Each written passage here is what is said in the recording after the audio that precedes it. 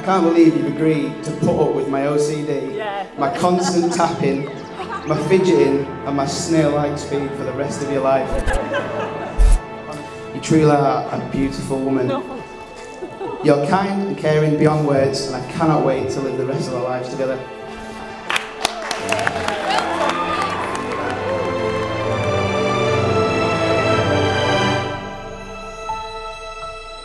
Boy Mason, number six, is usually easily embarrassed, and I've got to say, sometimes he goes so red in his face that I think if he was to take all his clothes off, he'd look like a match.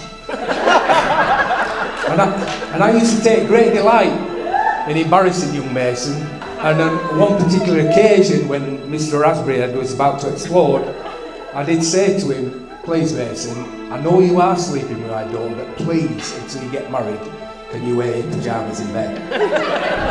Sleep on the sofa.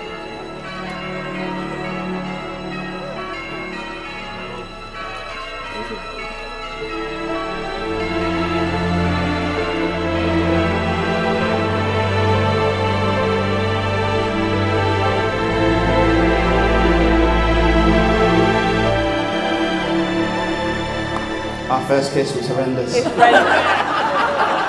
It's red. Felt like everyone that we knew, all our friends were stood around watching us. I guess they all saw it coming a long time before we did. All that I am, I give to you, and all that I have, I share with you. Within the love of God, Within the love of God, Father, Son, and Holy Spirit. Father, Son, and Holy Spirit.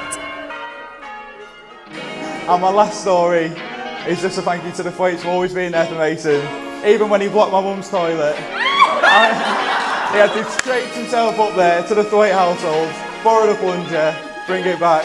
So Andy Thwaite, you saved the day. Thank you very much. Somewhere unseen.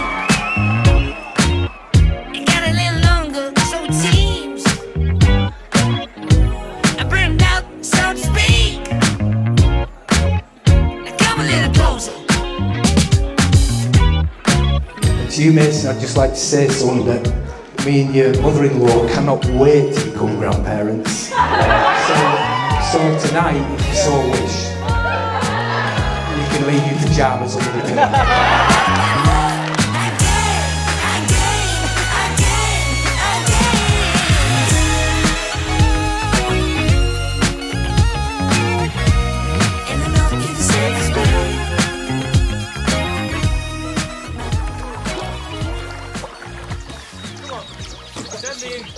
Get me hold of that bean. Alright. Take me in dry-ish, guys. Get me hold of that bean. We red wine's there. Bringing it in true. Alright, good on I think we should